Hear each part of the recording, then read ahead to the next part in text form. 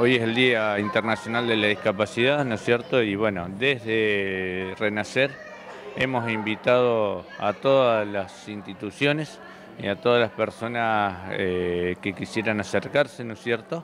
Eh, a ver una película de cine distendido. Esto lo hacemos humildemente porque en realidad eh, se tendría que haber hecho algo desde, desde el municipio, como hacen todas las ciudades, ¿no es cierto? Eh, pero, pero bueno, eh, la idea es, es que los chicos hoy se sientan identificados y que sepamos todos que la discapacidad la tenemos todos.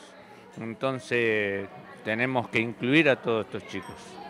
Por lo que tengo entendido, han participado todas las instituciones de nuestra ciudad.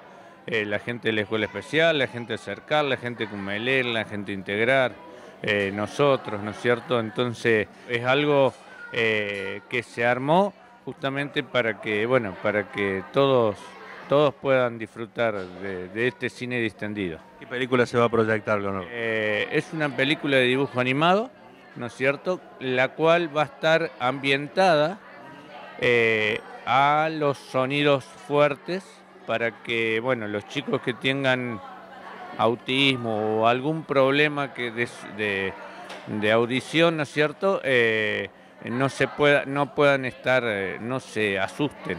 Juntamente con eso van, a quedar algunas luces del cine prendidas, ¿no es cierto?, para que no haya oscuridad. Entonces, por eso se llama eh, tarde de cine extendida. La idea es que puedan venir todos eh, hubiese estado bueno armar otra función, pero el costo del cine hace que bueno, nosotros eh, podamos costear una parte y, la, y la municipalidad costeó la otra parte para una función.